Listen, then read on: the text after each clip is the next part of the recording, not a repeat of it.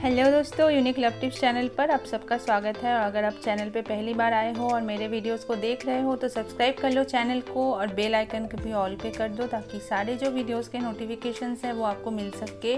और इस चैनल पे मैं रिलेशनशिप के प्रॉब्लम से रिलेटेड और लव टिप्स रिलेटेड वीडियोज़ को अपलोड करती हूँ। तो अगर आपने चेक नहीं किया है जल्दी से जाके चेक करो, बहुत सारे वीडियोस यहाँ पे अवेलेबल हैं, जितना हो सके वीडियोस को लाइक और शेयर कर दो। तो चलिए, आज का जो टॉपिक है, उसको देख लेते हैं। और आज का जो टॉपिक है, वो है पार्टनर का इंटरेस्ट कम हो गया है। तो बस ये काम कर दो। तो वो कौन सा काम है जिसको करने से पार्टनर का जो इंटरेस्ट है, वो वो फिर से लौट के आ सकता है या फिर आपका जो अभी पार्टनर जो इग्नोर कर रहा है, वो कौन सी चीज़ों को आप अगर फॉलो करोगे तो आपका जो पार्टनर है वो आपको कभी इग्नोर नहीं कर पाएगा या नहीं कर पाएगी। उसी के बारे में आज हम जानेंगे। तो चलिए स्टार्ट करते हैं वीडियो को। जब हम कोई भी रिलेशनशिप के फ़र्स्ट स्टेज पे रहते हैं मतलब फ़र्स्ट पड़ाव पे रहते हैं, ठीक है? जब हमारा जो रिलेशनशिप है वो स्टार्टिंग का होता है तो रिलेशनशिप का जो इंटरेस्ट लेवल है, वो हंड्रेड परसेंट होता है। और धीरे धीरे क्या होता है मेरे दोस्त, वही जो हंड्रेड परसेंट है ना, वो धीरे धीरे कम होकर थर्टी परसेंट पर आ जाता है। और ऐसे सबके साथ होता है। ऐसा नहीं है कि ये सिर्फ़ और सिर्फ़ आपके साथ ही हो रहा है, ठीक है? तो सबके साथ ही ऐसा है तो इस बात से बहुत लोग परेशान हैं हैरान हैं कि क्या करें क्या नहीं करे। तो अगर आप पहले से ही थोड़ा सा चीज़ों को मेंटेन रखोगे ना तो ये वाली जो समस्या है ये आपके लाइफ में नहीं आ, आएगी।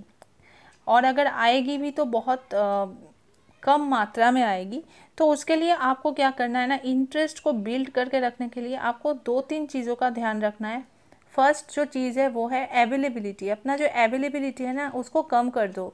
अगर आप किसी के लिए 24 घंटा अवेलेबल रहोगे तो ज़ाहिर सी बात है यार, उसका जो इंटरेस्ट है वो आप में कम होगा राइट और अगर आप चाहते हो कि उसका इंटरेस्ट बने रहे आप पे, जैसे पहले था, वैसा तो नहीं रहेगा, लेकिन हाँ रहेगा ज़रूर, ठीक है?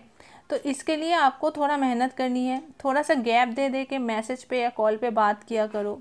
ताकि उसके दिल में आपके लिए जो वेटिंग वाला फैक्ट है वो बरकरार रहे, ठीक है?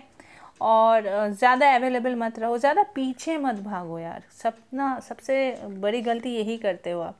इतना पीछे पड़ जाते हो, तुम कहाँ पे हो, क्या कर रहे हो, खाया नहीं या सोया नहीं मतलब क्या बोले? एकदम परेशान कर देते हो उस बंदे को या बंदी को तो ऐसा मत करो, उसका भी कुछ पर्सनल स्पेस होता है, सबकी एक पर्सनल स्पेस होता है, उसको वो चीज़ देना चाहिए आपको, ठीक है? पर्सनल स्पेस दो। और उसको गैप गैप में मैसेजेस किया करो कॉल किया करो, ठीक है? ताकि उसको इरिटेट ना फील हो। और जितना लोग को आप इरिटेट करोगे यार लोगों को, उतना ही लोग आपसे उब जाएगा, उस, उतना ही आपके ऊपर इंटरेस्ट उसका कम होगा। तो ये जो दो तीन चीज़ें मैंने बताई है, इसके ऊपर ध्यान रखो और अगर उसके बाद भी आपका जो पार्टनर है, आप में इंटरेस्ट नहीं ले रहा है या नहीं ले रही रही है, सॉरी तो वहाँ पे दो तीन फैक्ट हो सकता है। या तो वो अपने लाइफ में कुछ प्रॉब्लम में फंसी हुई है, इसी वजह से उसका जो बिहेवियर है, वो आपके ऊपर थोड़ा सा उसका ध्यान नहीं है। और सेकंड चीज़ हो सकता है कि वो सच में आपके साथ अभी रहना नहीं चाहता या रहना नहीं चाहती, उसके लाइफ में कोई और है, वो उसको टाइम दे रहा है या उसको टाइम दे रही है।